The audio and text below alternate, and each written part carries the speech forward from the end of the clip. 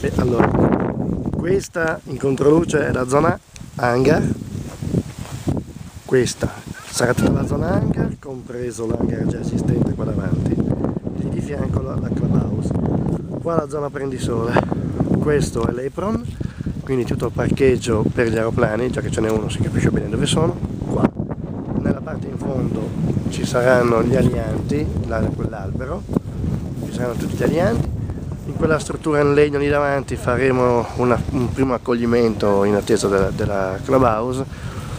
E poi la pista è enorme perché sono 900, 920 metri di pista con un orientamento verso nord per 02 e un orientamento a sud per fino là in fondo.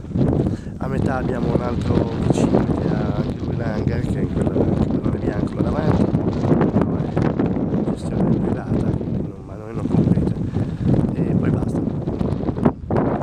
questa.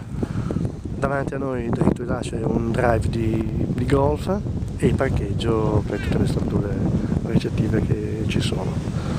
Tutto lì. Grazie arrivederci